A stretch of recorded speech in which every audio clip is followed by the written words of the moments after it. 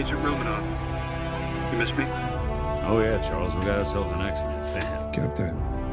Your Highness. Captain, big fan, Spider-Man. Hey, everyone. Uh, we were all knocked out by it. Thank you so Have much. Have you guys seen the movie yet? I have, I have. I saw it about a month ago. You did. And what'd you think?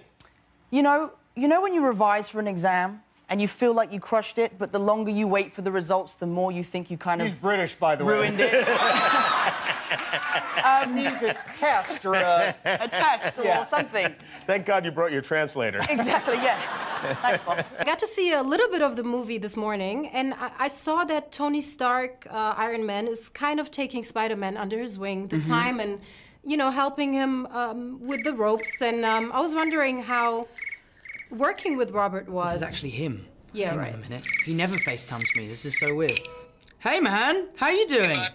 Dude, What's up? I just saw the movie. It's so good. Congratulations. Oh, thanks, man. Thank you so much. I'm actually doing press for it right now. I did 11 hours without going to the toilet. It was a tough day. Don't worry about it. Come on in. All access. I give that a minute, bud. Woo! But yeah, so walking into the screening, I was like, this is going to be awful. I'm going to hate it. And leaving, I was over the moon. You were great. Yeah, I Okay, loved okay, it. So you're not overly critical of yourself and your performance and all that No, stuff. I loved it. Robert, you have not seen it yet. I have personally yet to see it. When Oh. can I... Uh... You will see it when I'm ready for you to see it. Robert, all right? Just take a minute. The new blood. Get used to it. Oh my God. What are you, junketing? Yeah, I'm in the middle of a junket. I can't really speak right now. Can I call you back? No, you can do It's me. Are you kidding me? Where are you? I'm in. Um, I'm in Berlin right now. I'm in Germany.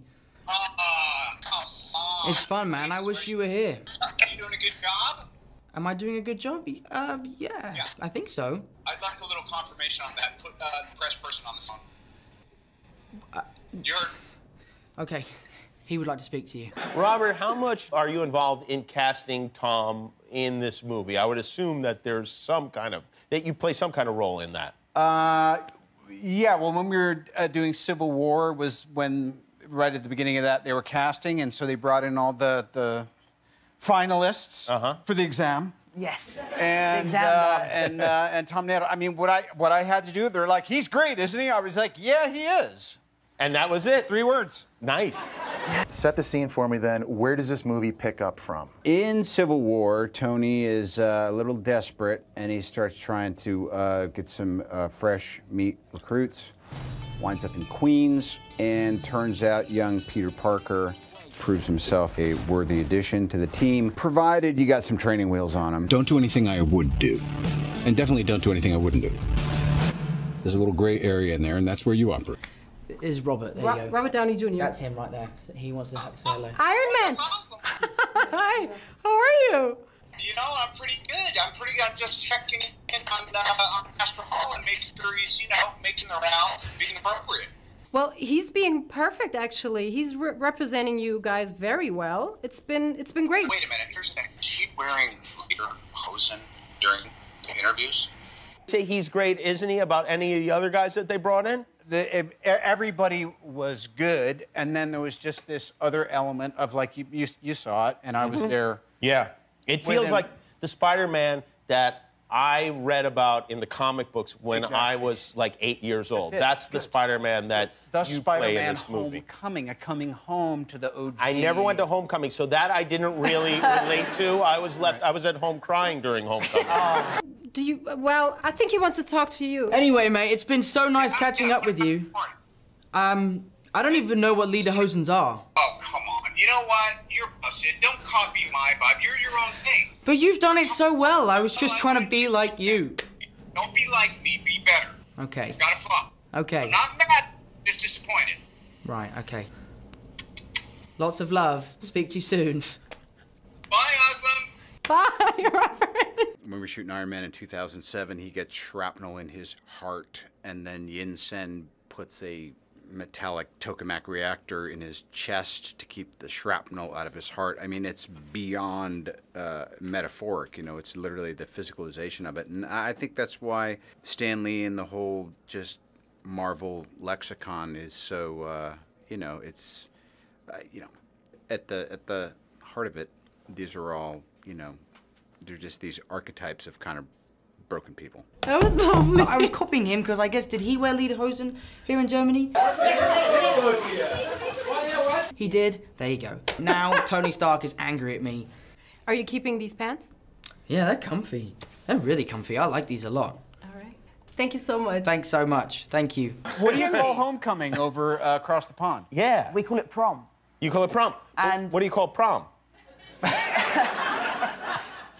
That was the whole thing. We got halfway through shooting the movie. I was like, by the way, what's a homecoming? really? yeah, I had. No, we don't do that. Again, I wouldn't like him if the movies weren't good. You know, it just so happens that this oh. Spider You're in the middle of an Man. interview. Oh. Man. I'm gonna pull up a chair. Now hold on a damn second. Just because I did this to you in Berlin doesn't mean all right, all right. I even wore glasses to try.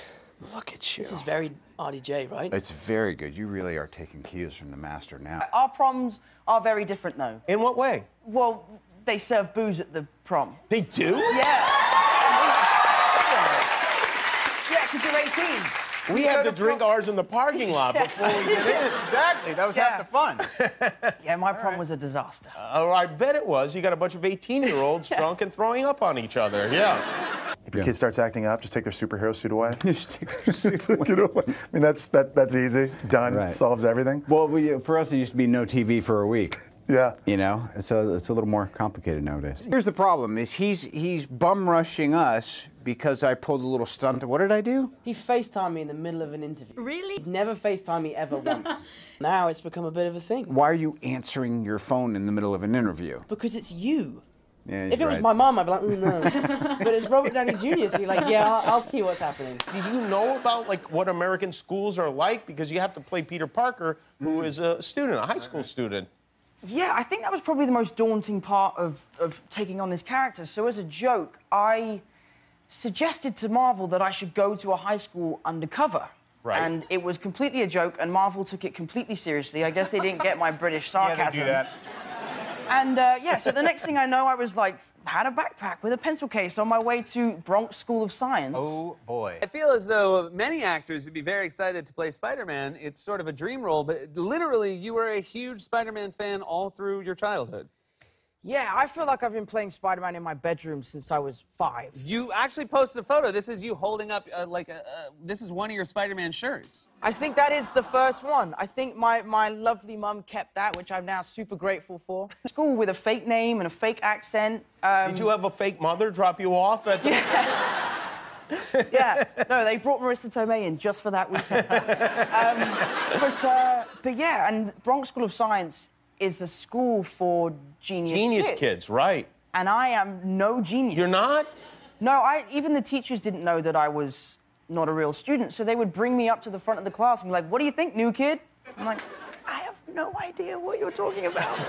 You got some cojones coming in here and and and uh, You know, I'm the new kid on the block. right. Uh, It's trying working. to step up to the plate. The way I think Tony looks at him as wow, you know, this is uh, a a really capable kind of. He's got a good moral psychology. He, he doesn't have the limitations that Tony was born into by being in this military-industrial complex family. Funny experience. I was sat at the back of a classroom next to quite a pretty girl, and uh, eventually she's like, "So, dude, what's your deal, man?" I was like, "Well." Do you want to know my secret? She's like, okay. I was like, I'm actually Spider-Man. She's like, dude, you're nuts, bro. You're nuts. You, you, you done now? Do it, yeah. All right. No, I just wanted to show my face. God, it's a good face. Wow. Oh, the future of cinema. Very stylish. Turnabout is fair play. We're even now. See you later. All right, pal. Tom Holland. Payback's a bitch. And, and she didn't believe me. Of course she didn't believe Because me. That's a Civil War wasn't ridiculous out yet. story. I know. Yes. But the fact that you were allowed to just suddenly go to Bronx Science in the middle of the year with no explanation, that breach, that was believable. Yeah, that was. it indicates we we've got a problem with our public education system. He's self-aware enough to know that he might not be making the right decisions, but you do what you can, and he's uh, he's a lot more personable than he used to be. Um, It's Gigi Hadid. For more videos like this, click here. Hi, I'm Alicia Vikander. Um, if you want to see more videos like this, please subscribe. Hi, I'm Cara Delevingne. Please don't forget to subscribe by clicking this button right here.